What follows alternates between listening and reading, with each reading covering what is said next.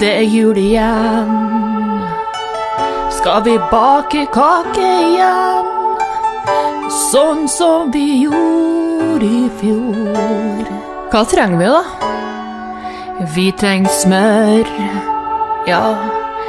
Vi trenger mel, og vi trenger sukker og alt det der.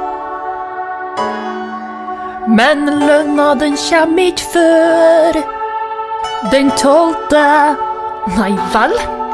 Men lønna den kjem ikke før den tolvte. Det er jo så lenge til. Vi har realistiske forventninger til jula, til jula. Vi har realistiske forventninger til jula. I år. Hva om du er trygda? Jeg bare sier det, for hva om du bor på bygda? Og vi får en start på mila, men vi kobler startkablene til traktoren. Ja! Det går nå alltid bra til slutt.